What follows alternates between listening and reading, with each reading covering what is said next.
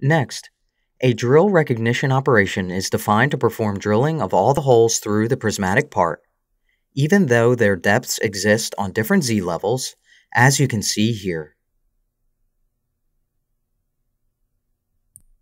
In the SolidCAM Manager, right-click the operations header and choose Drill Recognition from the Add Milling Operations submenu.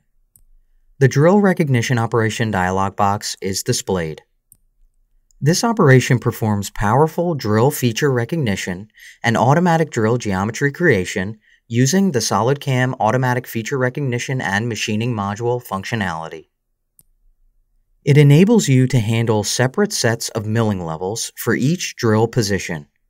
The initial values of the milling level sets are automatically recognized from the model, which can then be edited if necessary. On the geometry page, click the New button to define the drill recognition geometry for the operation. The HR Drill Geometry Selection dialog box is displayed. The geometry is automatically recognized on the target model. Therefore, when using this operation type, the target model must be defined in the CAM part before you define the operation. For the filter options, activate the hole diameter section and place your cursor in the From field by clicking it. Then in the SOLIDWORKS graphics area, pick on any of the holes as shown. As you can see, 3.2 millimeters is entered for both the from and to diameter parameters. In the Options section, leave the radio button set to Auto. This option enables you to perform the holes recognition automatically in accordance with the specified filtering criteria. Click the Find Holes button. The hole recognition is performed in the direction parallel to the z-axis of the current coordinate system. All the holes are recognized, and the drill geometry is created. Located at the bottom of the HR Drill Geometry Selection dialog box is the Holes Tree list, which displays the hole features included in the geometry for the operation. The hole features are classified into shapes and groups. A shape contains all the hole features with the same topology. Within a shape, a group includes all the hole features with the same dimensions. If you click the Preview button, the current drill geometry based on the selected items in the holes tree list and the initial machining sequence is displayed in the SOLIDWORKS window. To return to the geometry definition, click the Resume button. To confirm the drill geometry and exit the HR Drill Geometry Selection dialog box, click OK. Switch to the Tool page and click the Select button to display the part tool table.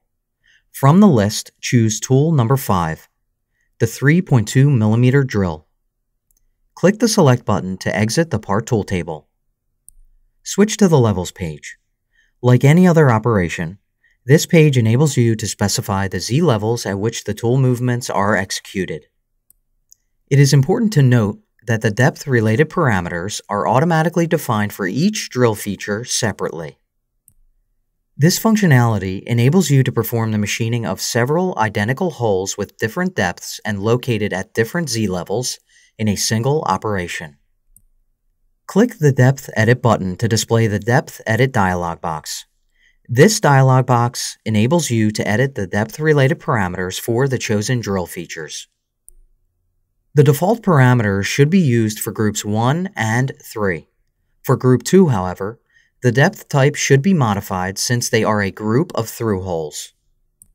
Select Group 2 in the Holes tree list and set the depth type option to full diameter. Click the Apply button to apply the change. Click OK to confirm the changes and exit the Depth Edit dialog box. Switch to the Technology page to define the technological parameters of the drill recognition machining. Like any other drilling operation, Default is used for sorting, and the standard drilling method of G81 is used for the drill cycle type. At this point, the operation can be calculated, and the toolpath can be viewed on the model. Click the Save and Calculate button to add the drill recognition operation to the CAM tree and calculate the toolpath. Then, click the Simulate button. After the simulation control panel is displayed, go to the SolidCAM Manager and, holding down the Control key, Also select the previous drilling operation so that both operations run during playback. Select your desired simulation speed using the slider, and then click the Operation Step Mode button to play the simulation for the previous drilling operation. The tool approaches and performs machining of the countersinks. Click the Operation Step Mode button again to play the simulation for the drill recognition operation. The next tool approaches and performs drilling of all the hole features automatically defined for the operation. Now that the cam part has been fully programmed using iMachining 3D, as well as the 2.5D milling and feature recognition modules for finishing, simulate the toolpath for the entire CAM project using the HostCAD mode.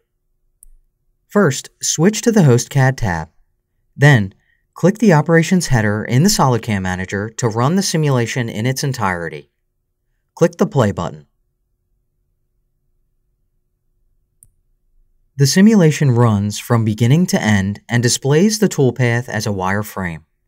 iMachining 3D, 2.5D, and feature recognition strategies are used to perform the machining of the prismatic part.